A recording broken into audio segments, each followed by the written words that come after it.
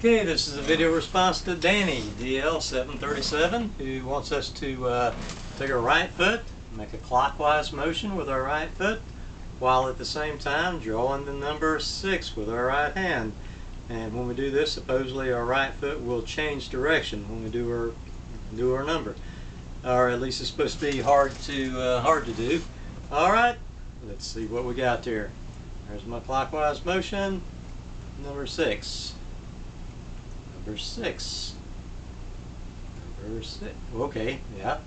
Your brain does uh, does try to tell it to do the other way, but with a little bit of mind control, it can work. It is possible. Okay, I think we've just about worn this out.